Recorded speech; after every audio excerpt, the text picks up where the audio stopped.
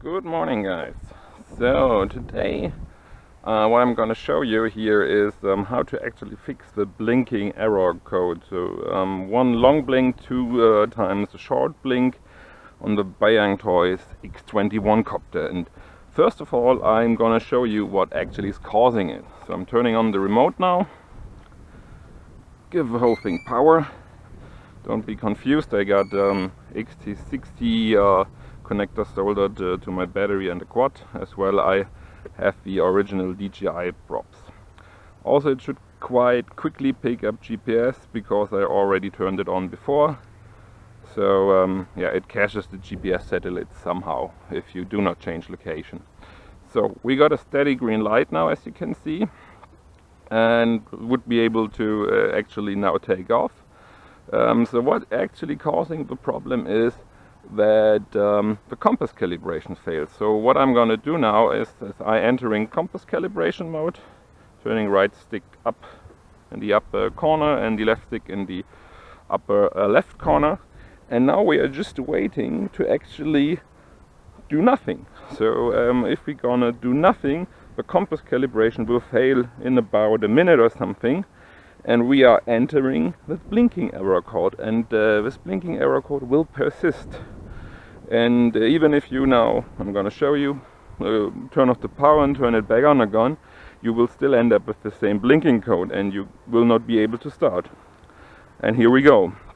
So what you can see now, we got the blinking code, but most of you guys may fear or already have problems with. I myself also stumbled about that and I thought the GPS module is broken because um, if you're gonna change now location, uh, you will, won't even uh, pick up GPS anymore.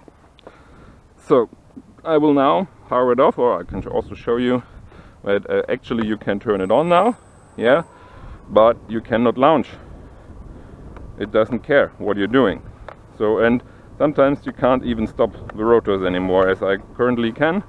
So I have to be a bit careful now. Yep, didn't hurt myself. So, alright. So, turning off the remote on and off again, uh, on and off, sorry. Giving some power again and showing you guys the blinking error. So, and we're, yeah, in the blinking arrow mode again. So we're receiving two shorts, one long, or maybe if you read it other way, it's one long, two shorts all the time.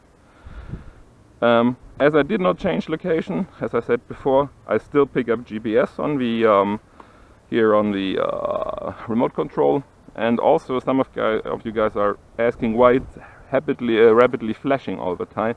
This is when the transmitter actually picked up um, the GPS. You can see also that that GPS light is flickering on the remote control. And if you look uh, in the uh, beneath the left stick you can see a green steady light and a blinking blue light if there is GPS. I don't know if you can see it on the camera. So what we're gonna do now is, um, yeah, of course, if we try to start, we cannot start. I was fast enough to turn it off again. Um, yeah, I can show you guys again. If I'm trying to start, nothing will happen. But after, yeah, trying to start, yeah, it failed again. So, oops being careful to stop it again. Okay, powering it up again.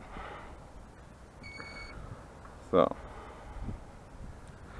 this time I will also close the hatch already because I will show you now how to fix it. So, and also start it of course.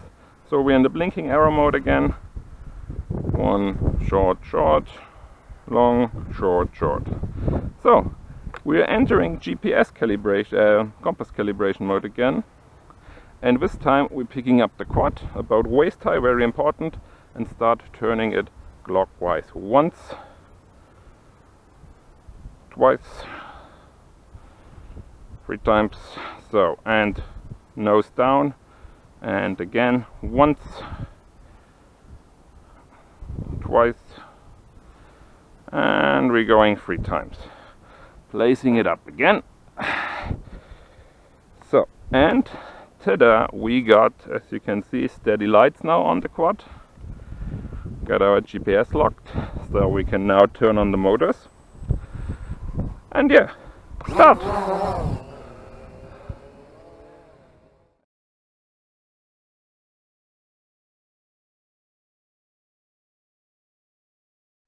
So uh, some additional comments about the calibration for um, the compass and the gyro. Um, I just uh, scanned the manual for you again. Um, so how to do the um, compass calibration, I just showed it in the video. Um, or here again, just uh, three clockwise turns. Um, and three nose down clockwise turns but um, please do that um, standing upright and about having the quad in about one meter height. You do not need to calibrate the compass each time you fly only if you change your location maybe between uh, 30 50 kilometers maybe something like that. That's my personal experience. Um, regarding the gyro calibration, here's also the manual instruction. You basically just um, do the sticks the other way around, so um, right uh, stick is in the uh, right uh, lower corner and left stick is in, in the upper left corner. Um, I personally do this every time. You simply do it um, while the quad is on the ground, do the calibration. It takes a little bit longer to kick in regarding or in, in comparison to the compass calibration.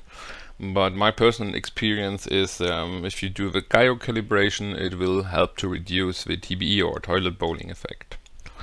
So good luck with your uh, calibration steps and hopefully you could fix your blinking error. Um, if you have any questions left, just leave them in the comments. Thanks.